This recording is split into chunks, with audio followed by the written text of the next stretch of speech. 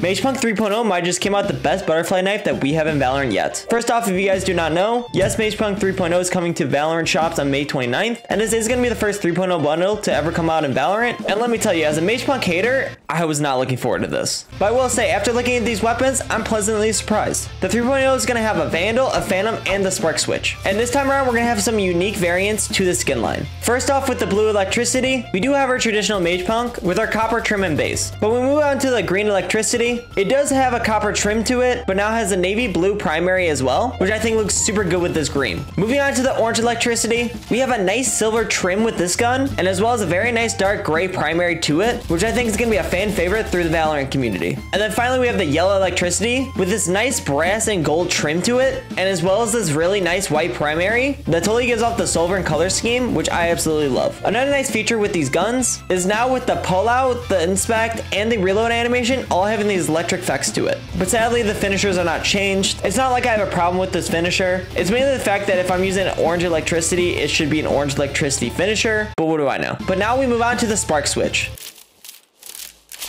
This thing is so sick. Spark Switch having one of the more unique butterfly animations that we've had so far, as well as the electricity that flows through this knife as you spin it around, really puts this knife on top for me. At first when I saw the image for this knife, I thought it was a pair of pliers, but once again pleasantly surprised for this knife. Now the real question is, is do I buy this bundle right away or do I wait for these guns to come in my night market? You guys let me know down below, are you guys gonna wait for this in your night market, get it right away, or just not get it at all? Also, am I the only one that thinks this bundle gives off super Wonder Waffle vibes from Call of Duty Zombies? Yeah, I am? Okay, cool.